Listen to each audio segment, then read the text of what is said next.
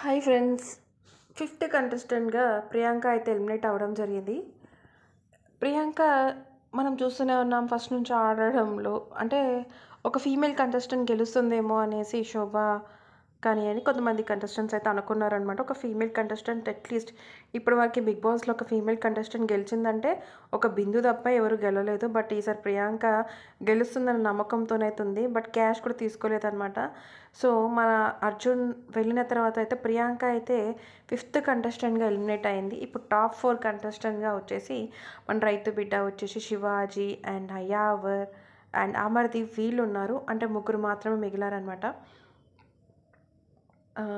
ఇప్పుడు మాట్లాడుకున్నట్టయితే మనకు Gautam already Gautam four members ఉన్నారు. గౌతమ్ ఆల్రెడీ లెఫ్ట్ అయిపోయాడు అండ్ ప్రియాంక కూడా లెఫ్ట్ అయిపోయిందనమాట సో ప్రియాంక క్యాష్ తీసుకుంటే బాగుంటుంది. కానీ ప్రియాంకకి ఓవర్ కాన్ఫిడెంట్ ఏంటంటే ఏదే విన్ అయిపోతానులే అని చెప్పేసి అయితే అనుకుంది. బట్ ఇది నిజంగానే ఒక ఒక తప్పు డెసిషన్ అనే చెప్పాలి. ఎందుకంటే ఇప్పుడు మనం చూసినట్టయితే ఫ్యామిలీ వీక్లో కానీ ఎవరైనా ప్రశాంత్ ఆర్ శివాజీ వీళ్ళిద్దరిట్లో ఎవరో విన్నర్ అవుతారు అని అనుకున్నాం.